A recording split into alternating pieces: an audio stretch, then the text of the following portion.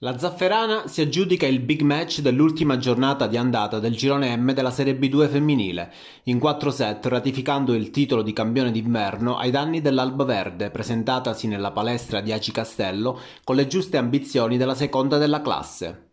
Al termine di una gara senza esclusione di colpi, la formazione catanese mantiene la propria imbattibilità e porta a 4 punti il vantaggio sulla squadra nissena, che adesso, dopo la vittoria della pallavolo Crotone, scivola al terzo posto in classifica. Uscite da una settimana difficile causa infortuni, le pallavoliste nissene non hanno lesinato grinta e impegno. È proprio con questo spirito che l'Alba Verde deve ripartire nel girone di ritorno, recuperando le infortunate, riflettendo sugli errori e affrontando con il piede schiacciato sull'acceleratore la lunga volata del girone di ritorno.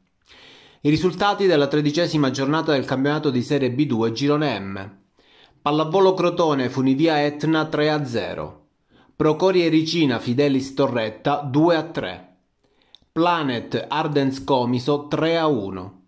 Zafferana Albaverde 3 a 1. Saracena Gioiosa 3 a 2. Brico City Stefanese 3 a 1. Volley Region Cuscatania 1 a 3. La classifica.